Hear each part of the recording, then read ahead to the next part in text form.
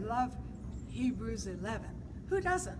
By faith. And it just goes on and on and on. But I especially the one about Noah. By faith. What did he do? He built an ark for the saving of his family. How do we keep our family or get our family into the kingdom of God in a time like this when there are so many pressures? But remember, there were tremendous pressures in that day. And it says, as the days of Noah were, so will they be in our time. How did he build an ark that could take care of his family? I like that ark because it had a window only in the top. He didn't have windows on the side. He couldn't see the flood coming. He was going to keep an upward look. He believed that he could build something that would keep his family safe in the darkest time. I want you to take an upward look tonight or today, whatever time it is for you when you watch this. And I want you to think about the ark of safety for your household. How do you build that?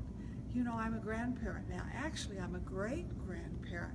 How did we build that? How did Wally and I do that? Well, I can tell you, we did it with prayer. So pray for your children, your grandchildren, your family. That's key. We did it with the Word, which is really powerful. We took promises and literally spoke them every day over our children. I do the same now with my children, my grandchildren, my great grandchildren.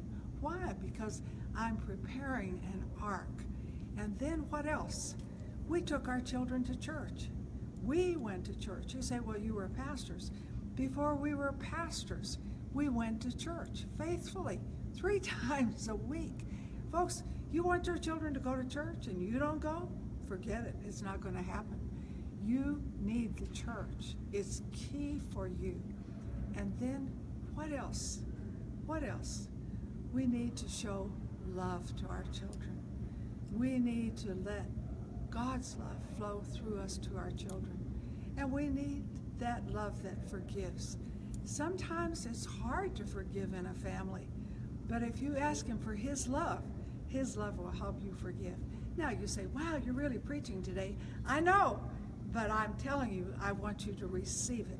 Let's build an ark in these times for 2017. And you know how. Don't say you don't know how. You know how now.